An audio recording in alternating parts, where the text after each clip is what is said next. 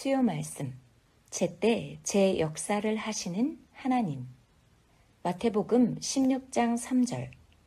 아침에 하늘이 붉고 흐리면 오늘은 날이 굳겠다 하나니 너희가 천계는 분별할 줄 알면서 시대의 표적은 분별할 수 없느냐. 새벽에 일찍 일어나서 기도하는 자는 기도의 축복을 받은 자다. 하나님, 성령님, 예수님, 사명자를 믿고 살면서 자기가 무슨 축복을 받고 사는지 깨달아라. 깨달으려 해야 깨닫게 된다. 모두 자기가 축복을 받고 은혜를 받는 시간인데 귀찮게 혹은 고달프게 여기며 하기 싫은 일을 의무적으로 하는 것으로 생각하게 된다. 분별하고 생각들을 잘 하여라. 모르면 복을 화로 생각하고 자기 스스로 무지하여 축복의 시간을 뺏긴다. 기도뿐만 아니라 모든 것이 그러하다. 어느 때는 때가 되어서 극한 환난, 어려움, 괴로움, 억울함도 받는다. 새벽을 깨우면 평소 깨닫지 못한 것을 깨닫게 해주신다.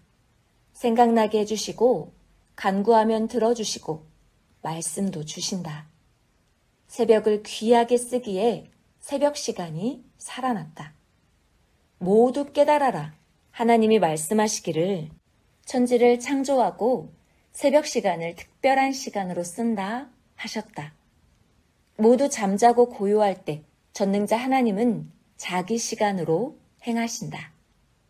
항상 모든 자들보다 전능자 하나님과 성령님과 주는 먼저 행하신다.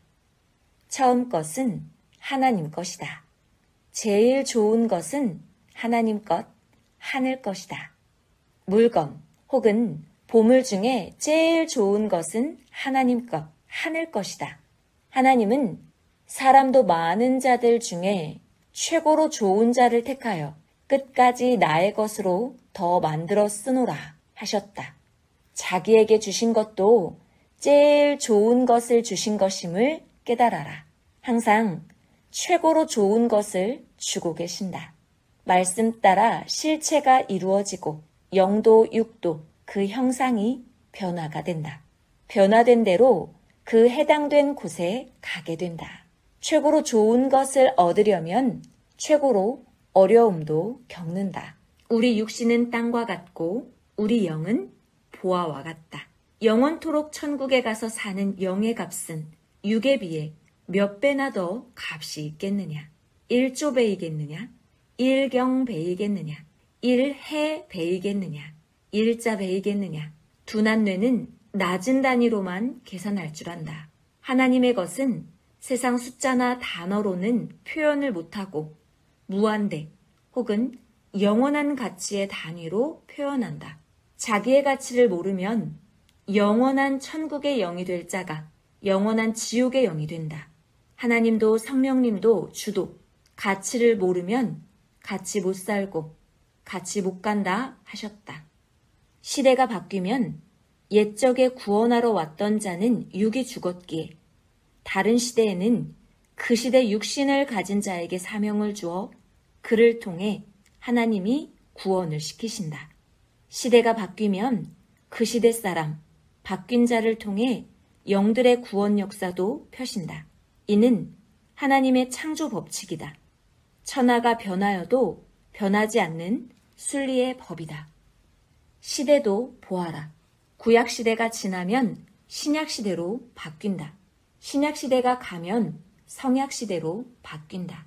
새 시대가 오면 새 시대를 따르는 사람들도 바뀐다. 만물도 시대가 바뀌면 다 바뀐다.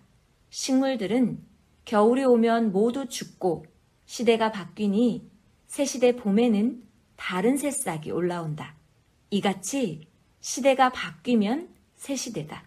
새 시대 사람을 뽑아 하나님은 역사하신다. 저마다 태어나서 성장할 때 하나님은 그때부터 뜻을 가르치며 준비시켰다가 때가 되면 저마다 사명을 주고 보내어 하나님의 구원 역사를 펴신다. 그러므로 자기 때를 놓치지 말고 환난에 눈보라가 치고 비바람이 불어도 자기를 위해서 연단하고 배우고 행하고 생명들을 위해서도 미련 없이 하여라. 육신은 두 번 안 온다. 한 번 죽으면 그것으로 끝난다. 다시 새 시대의 역사를 하려면 영이 와서 한다. 고로 신앙생활을 하다가 육신이 살았을 때 신앙을 뺏기든지 잃으면 다시 자기라는 육신은 태어나지 못하니 그것으로 끝난다. 자기가 원하는 작품을 만들 때도 기쁘고 즐겁지만 영원히 살 자기 영과 일생 동안 사는 자기 육을 만들 때가 더 값있고 가치가 크고 기쁜 것이다. 자기를 지혜와 지식으로 만든 만큼 모든 것도 만들 수 있는 능력이 있다. 자기를 만드는 만큼 거기에 해당되는 것을 하나님도 성령님도 예수님도 선물을 주시니 얻게 된다. 하나님이 긴긴 세월, 100억 년이 넘도록 천지 만물을 창조해 놓으시고 사람들을 만드는 데까지 긴긴 역사를 펴셨다. 사람의 육을 통해 영이 변화되고 만들어진다. 영은 하나님의 사랑의 대상으로 영원토록 살아야 하기에 긴긴 역사를 두고 만들어야 된다. 한없이 끝도 없이 만든다. 전능하신 하나님, 성령님, 성자의 대상이 되어 살려면 신적 차원으로 만들어져야 된다. 천국이나 황금천국에 가서도 계속 지식, 지혜, 사랑으로 만들어야 된다. 만든 만큼만 얻고 누린다. 지상에서 자기를 만든 만큼 얻고 누린다. 신앙생활을 오래 했어도 제대로 만들어지지 않은 자는 환난 때 쓰러진다.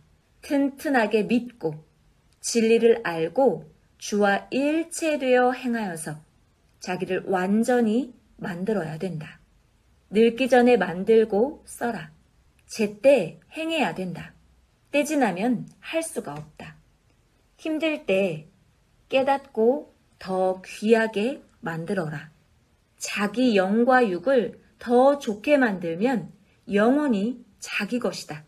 영원토록 자기를 쓰면서 낙을 누린다. 기도하면 뭘 만들어야 될지 성령이 깨닫게 하시고 알려주신다.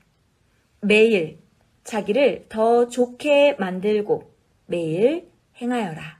이미 만들어 놓은 것에서 차원을 높여 전보다 더 좋게 만들어 놓아야 그제야 만들어 놓은 것을 보고 전보다 훨씬 좋다 하고 시인한다. 자기도 그러하다. 기도하고 눈을 떠야 더 좋게 할 것을 찾는다. 그렇지 않으면 과거에 만족하고 산다. 100% 해야 그 위치에서 그만큼 받고 산다. 현재 자기 위치를 보아라. 찾아야 더 좋게 만든다. 아멘.